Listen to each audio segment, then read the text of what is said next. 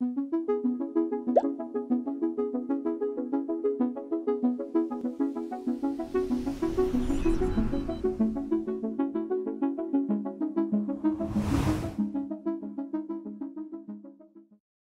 y amigos del canal para estudiar con Ricardo. Bueno, vamos a resolver límites de la indeterminación 0 sobre 0. Y lo vamos a hacer aplicando la regla de Ruffini, pero eh, te, lo voy a, te, te, voy a explicar el, a ver, la parte teórica, digamos, en un solo ejemplo. Después lo vamos a hacer casi mentalmente. Bueno, límite cuando x tiende a menos 1. x no es menos 1, pero es el número más parecido a menos 1 que se te puede ocurrir. Con lo cual, x al cubo a dónde tiende? A menos 1 más 1 tiende a 0.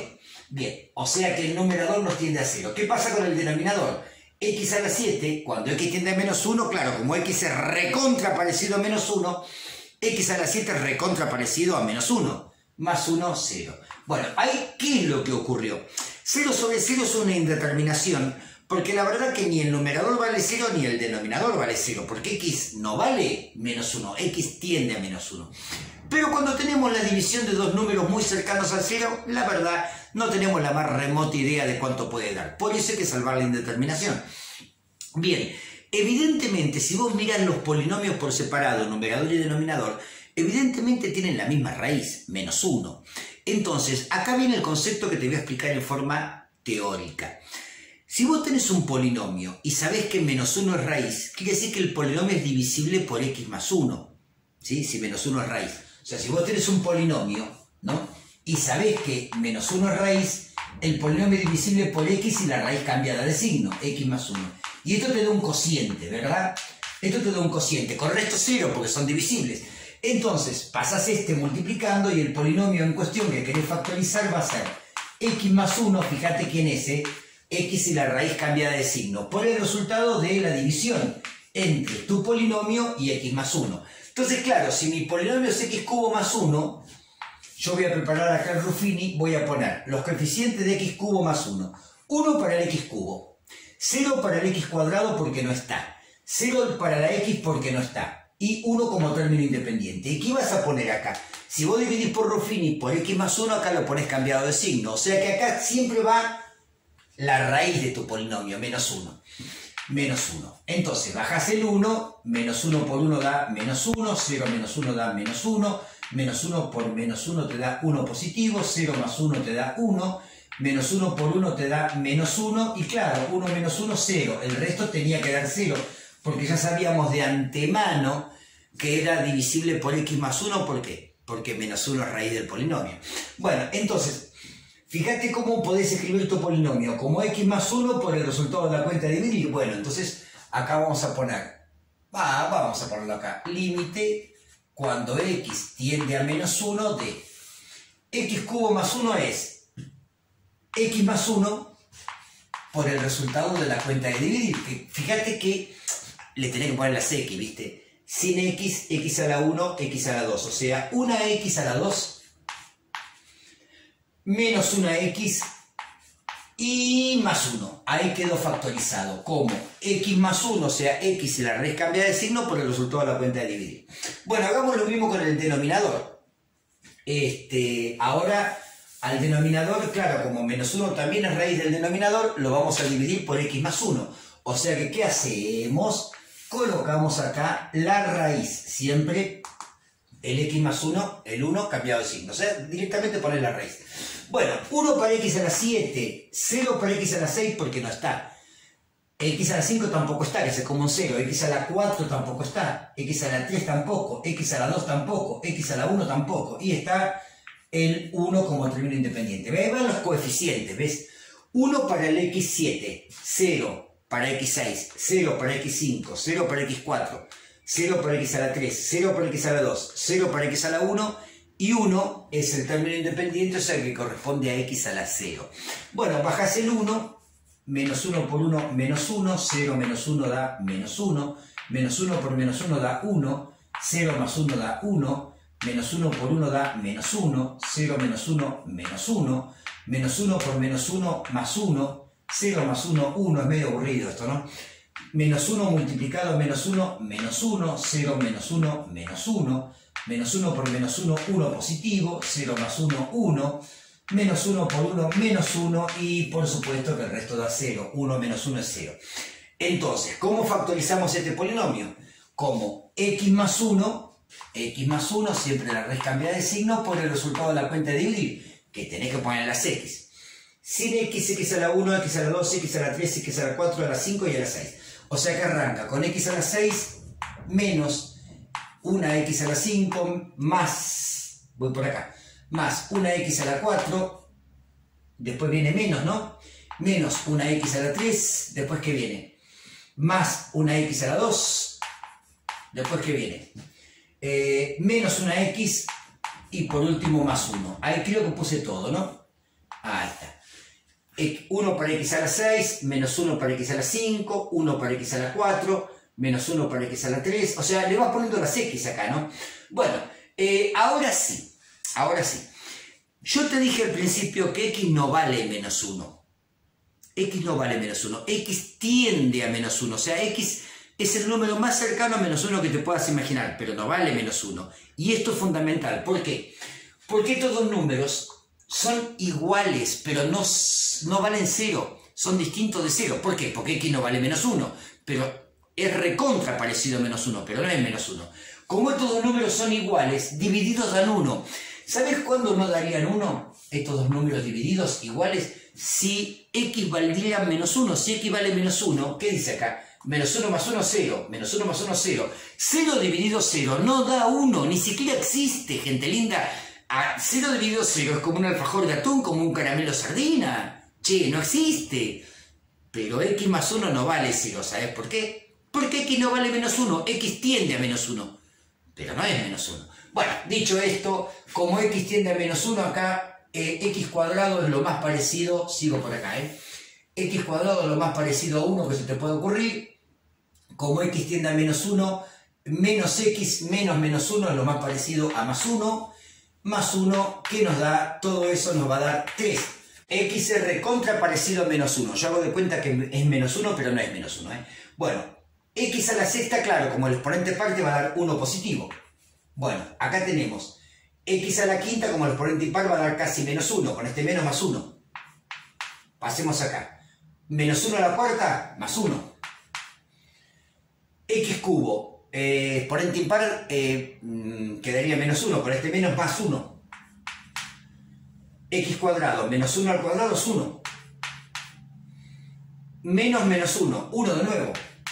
Y este 1 para terminar. Tenemos 1, 2, 3, 4, 5, 6, 7. 1, 2, 3, 4, 5, 6, 7, sí. 3 séptimos el resultado final. Gente linda, ¿hacemos otro? Dale. Ya ahora no te voy a explicar todo esto, pero sí te voy a guiar en cómo se organiza la factorización por Ruffini y la resolución del límite. A ver, primero fíjate que es 1 sobre 0, ¿no? x tiende a menos 2, con lo cual x cubo tiende a menos 8, ¿no? Bueno, eh, x cuadrado, lo, voy a anotar por acá, menos 8. x cuadrado tiende a 4, por 2, 8. Ya eso da 0. Eh, x tiende a menos 2. O sea que, como x tiende a menos 2, menos 2 por x tiende a más 4 y menos 4, 0, tiende a 0. Eso significa que menos 2 es raíz del numerador. Bueno, vamos al denominador. Menos 2 al cuadrado, 4. Bueno, eh, menos 4 por menos 2, más 8. 8 y 4, 12, menos 2 es 0, también 0. Entonces ya directamente lo hacemos bien fácil, bien cortito, bien sencillo. Vamos a tomar al numerador y sus coeficientes. 1 para el x cubo, 2 para el x cuadrado, menos 2 para la x y menos 4 para el que no tiene x. ¿Y qué pones acá? ¿Qué otra cosa que no sea la raíz? Bajás el 1, menos 2 por 1, menos 2. 2 menos 2, 0. Menos 2 por 0, 0. Menos 2 más 0, menos 2. Menos 2 por menos 2, más 4. Menos 4 más 4, 0. Por supuesto, el resto tenía que dar 0. Entonces voy a borrar acá el 0 sobre 0 y voy a poner límite cuando x tiende a menos 2 de, acordate cómo es la factorización, x y la raíz cambia de signo, ¿no? Ya te lo expliqué antes, si menos 2 es raíz, el problema es divisible por x más 2. Por el resultado de la cuenta de dividir, que acá están los coeficientes, sin x, con x a la 1, con x a la 2. Una x a la 2, este no hace falta escribirlo, porque es un 0, 0 por x da 0, menos 2. Bueno, eh, sigamos, vamos al denominador, hagamos exactamente lo mismo, no me vengas con la resolvente, pues cuadrática, voy a usar resolvente, no, es más fácil usar Ruffini. A ver, este, 1 por el x cuadrado, menos 4 para la x, menos 12 para el que no tiene x, que va acá la raíz del polinomio, menos 2. Bajo el 1, menos 2 por 1 da menos 2, menos 4 menos 2 menos 6, menos 2 por menos 6 más 12, menos 12 más 12, 0.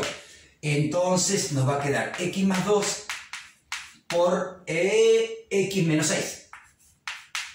Bueno, a ver, gente linda, x más 2 y x menos 2 divididos dan 1, porque son dos números iguales distintos de 0.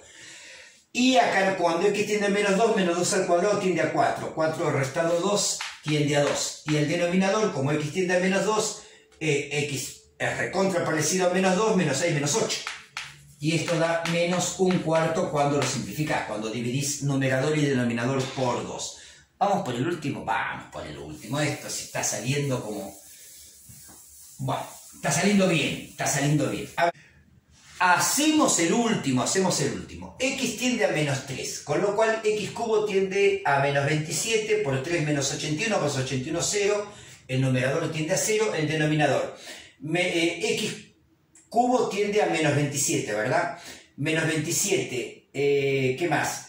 Eh, menos 27. Acá x cuadrado tiende a 9 por 4, 36. 36 menos 3 son 33. Menos 6, 0. Tiende a 0 también. Bueno, entonces, como tienden a 0 los dos, vamos a hacerlo bien cortita, Ruffini para cada uno. Acá 3 para el x cubo, 0 para el x cuadrado que no está, 0 para el x que tampoco está, 81 para el que no tiene x.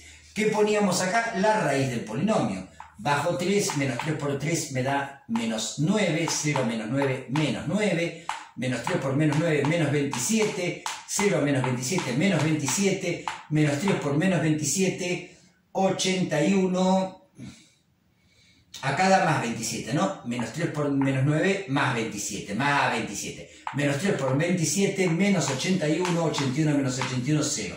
Bueno, listo. ¿Cómo queda factorizado entonces aquí? Límite cuando x tiende a menos 3 y me queda x y la raíz cambiada de signo, x más 3, por el resultado de la cuenta de dividir, que es sin x con x a la 1 con x a la 2. 3x a la 2 menos 9x más 27. Vamos al denominador, vamos al denominador. Ruffini para el denominador. A ver. 1 eh, para el x cubo.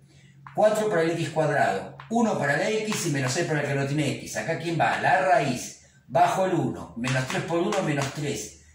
Cuando digo la raíz es el valor de x que hace que el polinomio valga 0, ¿no? 4 menos 3, 1. Menos 3 por 1, menos 3. Eh, 1 menos 3 menos 2 menos 3 por menos 2 más 6. Menos 6 más 6, 0. Entonces, ¿cómo queda factorizado el polinomio? x y la raíz cambia de signo, x más 3 por el resultado de la cuenta de dividir. Sin x con x a la 1 con x a la 2. x a la 2 más 1x menos 2. Bueno, gente linda, dividimos dos números iguales que dan 1, por supuesto. Siempre la división de dos números iguales, excepto que esos números sean 0, pues 0 dividido 0, ya te dije, alfajor de atún, siempre da 1. Bueno, x tiende a menos 3, menos 3 al cuadrado, 9, por 3, 27. Eh, menos 9 por menos 3, menos por menos más, 27, más 27, 3 veces 27, mira. Y en el denominador, eh, menos 3 al cuadrado, 9, menos 3 y menos 2. Bueno, 27, 27, 27, qué sé yo, ¿cuánto da eso? No sé. 27 por 3. Esto me da 81. ¿Cómo nos va a hacer Ricardo? 81 da. Y 9 menos 3, 6. 6 menos 2 es 4. Y 81 cuartos quedó. Gente linda, espero haber sido claro. Dentro del canal de reproducción límite, cientos de ejemplos. Y por supuesto que nos vemos en el próximo video. Chau, chau.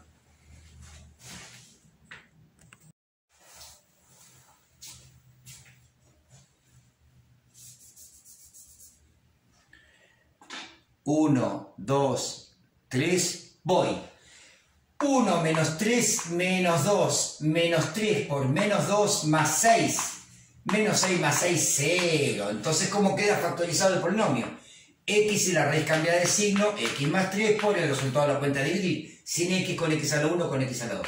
x a la 2 más 1x menos 2. Bueno, gente linda, dividimos dos números iguales que dan 1, por supuesto. Siempre la división de dos números iguales, excepto que esos números sean 0, pues 0 dividido 0, ya te dije, alfajor de atún, siempre da 1. Bueno, x tiende a menos 3, menos 3 al cuadrado, 9, por 3, 27. Eh, menos 9 por menos 3, menos por menos más, 27, más 27, 3 veces 27, mira. Y en el denominador, eh, menos 3 al cuadrado, 9, menos 3 y menos 2. Bueno, 27, 27, 27, qué sé yo, ¿cuánto da eso? No sé. 27 por 3. Esto me da 81. ¿Cómo nos va a saber Ricardo? 81 da. Y 9 menos 3, 6, 6 menos 2 es 4 y 81 cuartos quedó. Gente linda, espero haber sido claro. Dentro del canal Historia Reproducción Límite, cientos de ejemplos. Y por supuesto que nos vemos en el próximo video. Chau, chau.